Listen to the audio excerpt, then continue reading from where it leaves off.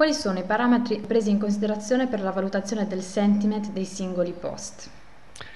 Eh, beh, allora, il nostro tipo di, di, approccio è un approccio cosiddetto rule based, cioè mh, vale a dire abbiamo un motore di ricerca che raccoglie chiaramente eh, i post, eh, i messaggi eh, in rete sulla base eh, di quelle che sono le parole chiave che ci interessano, che interessano all'azienda per la quale eh, lavoriamo.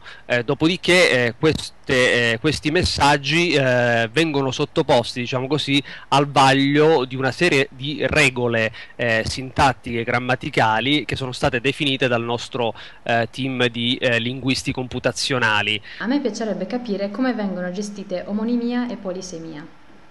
Beh, allo stesso modo, nel senso che eh, sono questo set di regole, c'è un modulo ad hoc eh, nel, nostro, eh, nel, nostro, sistema che appunto eh, è votato proprio a, a, a risolvere questi problemi eh, di omonimia e polisemia. Come fanno ad aggiornare gli algoritmi di interpretazione del linguaggio in un momento in cui la lingua evolve molto velocemente? Eh, beh, lo fanno, come dicevo, appunto questi linguisti computazionali in maniera manuale, diciamo, nel senso che quindi c'è una manutenzione che, che, è costante, ma il problema non è tanto l'evolvere della lingua, è proprio il fatto che, diciamo, che la lingua che noi eh, parliamo a sul web, quindi eh, sui social media, ha delle caratteristiche insomma, peculiari che la rendono un po' eh, complessa eh, da far digerire a una macchina. Come si fa a interpretare per esempio il sarcasmo o l'ironia di certi commenti che dicono una cosa ma in realtà ne sottintendono un'altra? No, ma infatti quello è l'aspetto più difficile proprio della sentiment analysis. Eh, ci sono tanti studi, diciamo, a riguardo. Eh, quello che si può fare, oltre a appunto a seguire un approccio, come ti dicevo, basato su delle regole, eh, che però appunto viene aggiornato eh, costantemente, eh, si vanno anche a, eh, a fare una, una, serie di ehm, indagini a campione per capire se effettivamente la macchina sta comprendendo eh, adeguatamente quel messaggio oppure no. Magari ha una percentuale di errore alla quale puoi cercare di rimediare con un, invece con una lettura manuale. Uh, mi sapresti dire quant'è questa percentuale di errore? Sì, su, allora, ci sono due, due, cose che bisogna distinguere. Ehm, la, eh, la, difficoltà della macchina è soprattutto nei casi di analisi eh, che non hanno un campo semantico ben definito e in quel caso la precisione della, della macchina è stata eh, accertata essere eh, del, dell'84%, eh, mentre sul, eh, questo sul sentiment, sulla eh, rilevazione invece dei sentimenti si arriva all'88%. Eh, quando invece il campo semantico è ben definito, la precisione va oltre il 90%. Ho letto diverso tempo fa un articolo che affermava che con un'adeguata analisi dei, del sentiment su Twitter era possibile prevedere l'andamento delle borse con 5 giorni di anticipo. Quanto c'è di vero e quanto è possibile farlo realmente?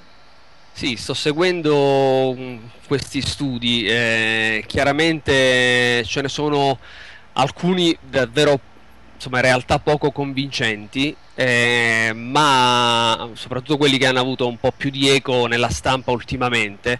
Eh, in realtà, eh, però, che l'unica cosa che sappiamo è che esistono società che fanno questo di mestiere, quindi propongono proprio questi eh, servizi. Però il problema è che è veramente, a mio avviso, complicato. Ancora mh, noi non abbiamo fatto degli sforzi di questo tipo e so dai miei colleghi appunto eh, che si occupano di queste tematiche che, che, è uno sforzo un po' difficile. Molto interessanti invece quelle eh, ricerche che legano per esempio il, il successo al botteghino di un film al, al sentiment del, degli utenti eh, prima dell'uscita dello stesso o immediatamente eh, all'uscita del primo giorno di proiezione. Ecco, quelli magari sono, sono delle, insomma, dei fenomeni più attendibili di, di correlazione. L'andamento dello spread è desumibile dal sentimento misurato su Twitter?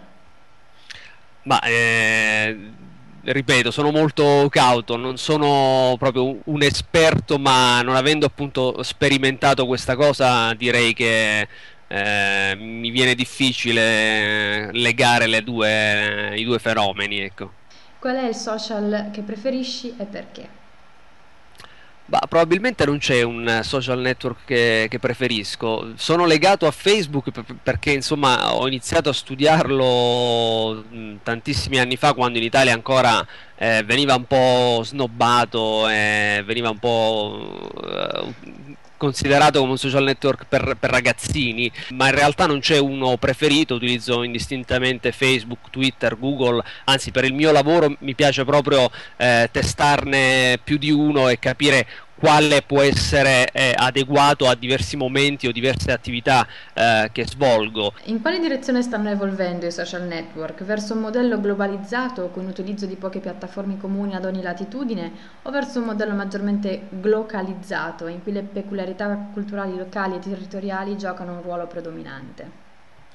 Beh, il, mi sembra che il primo modello sia quello che si sta diffondendo di più e attraverso anche la, la, la mia mappa dei social network quello che, eh, che viene fuori di fatto è, eh, che eh, sempre di più esiste un leader forte eh, di ogni nazione che eh, al momento nella maggior parte dei casi coincide con il social network più grande che, che è Facebook. Io penso che ci sarà sempre eh, spazio per social network locali che sappiano interpretare bene le esigenze di una, eh, di una determinata popolazione e quindi accanto a Facebook probabilmente eh, ci saranno eh, persone che utilizzeranno anche il social network eh, locale. D'altronde mh, mm, se parliamo a livello invece globale, gli stessi Twitter e LinkedIn eh, non stanno morendo eh, a seguito del, eh, del, grande boom di Facebook, ma eh, sono, eh, vivono proprio perché riescono a trovare una nicchia di collocamento eh, che magari altri social network non hanno, non hanno trovato. Ecco.